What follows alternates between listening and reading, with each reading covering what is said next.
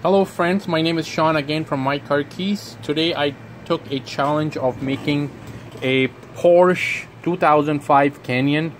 Customer lost all the keys and pretty much I've been given all this uh, ECUs and IMO box.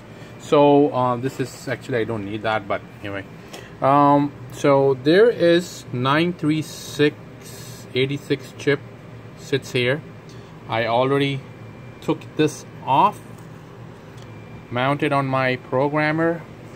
I pretty much read this already so I'm just gonna read it again for you guys. Uh, 93C86 ST chip read. So let's see if uh, reads the information of this uh, memory chip. Here we go. So we got you see I read this one uh, already. So I'm just going to close that and say save file no. And I'm going to verify. So make sure whatever I read is um, is read correctly so I see operation success okay?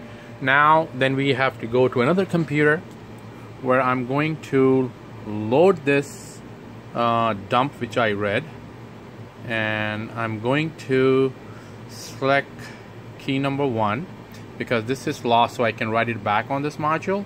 I mean on, on this slot not module and I will select this and I will say make a dealer key. And this is interested that I really uh, make keys on bench and you will see start making dealer key dealer key success. So here we go. I really don't have to write anything back onto the module and my chip is ready to go. And here's this little chip sitting.